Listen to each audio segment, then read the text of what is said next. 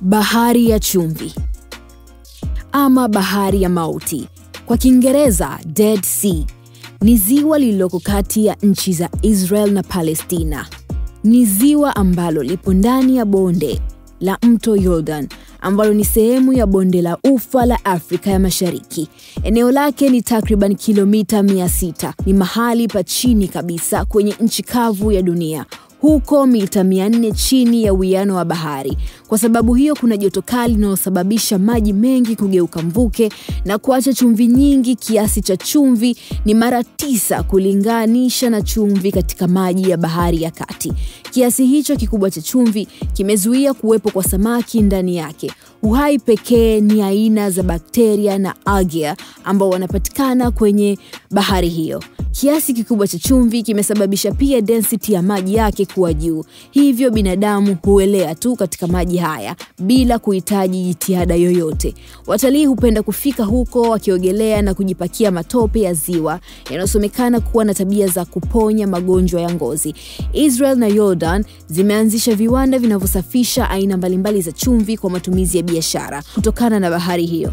Kwa ujumla kiasi cha maji ziwani kimerudi nyuma kwa sababu mto Yordan ambao ni mto wa pekee unaoingia humo umehamishwa kwa shughuli za umwagiliaji.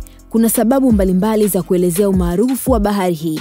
Kwanza, sifa yake imeenea kutokana na kutajwa sana kwenye Biblia, kitabu kitakatifu cha waumini ama Wakristo. Pili, maji yake yana chumvi nyingi sana ambayo inafaa mtu kuelea anapoingia ndani. Yaani, hii ndiyo bahari pekee ambayo watalii huwakuta wenzao wakisoma gazeti majini bila kuzama. Chumvi yake ni kuanzia mara nane ikilinganishwa na bahari zingine.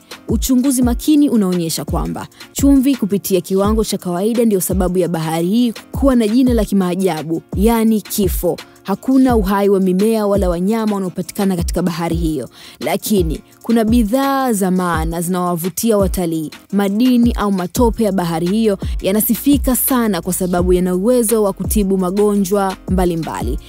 Kama ilivyo desturi, watalii huzuru bahari hiyo na kuosha miili yao kwa kufaidika na madini hayo, lakini si lazima mtu azuri bahari hiyo au afike baharini hapo ili apate matibabu kutokana na madini haya.